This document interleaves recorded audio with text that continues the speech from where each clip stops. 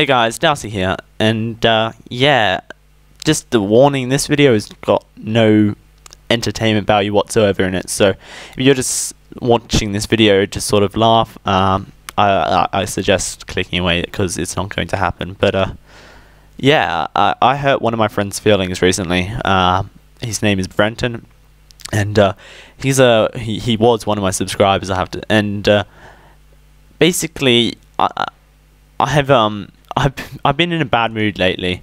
Uh, I've had a couple things happened. I've been uh, slightly emotional, and uh, I guess it's sort of been wearing off on other people, especially Brenton. He's felt it. Uh, and basically, I tipped him over the edge recently. Uh, I was in a Skype call with him. Uh, I was in, not in the mood whatsoever, and so I ended up leaving. Half an hour later, I sent a tweet to um, to Banana Pilot, as it was, just uh, basically saying, "Do you want to play a game?" And uh, he he just sort of saw it as me ditching him for uh, Banana Pilot because uh, I guess he he felt the same way as I. He felt I was a friend.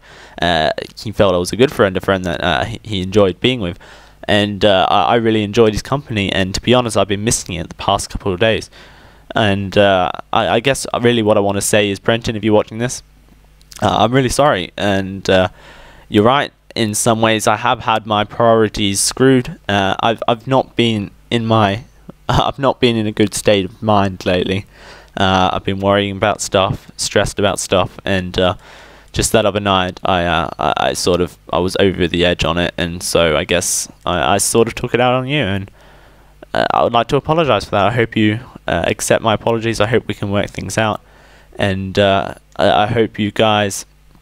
Um, I don't know. I, I really don't know. But yeah, Brenton, this is I'm making it public. Okay, uh, I'm sorry, and uh, I hope you apolo- uh, I hope you forgive me for it. So uh, yeah, hope to see you soon, buddy.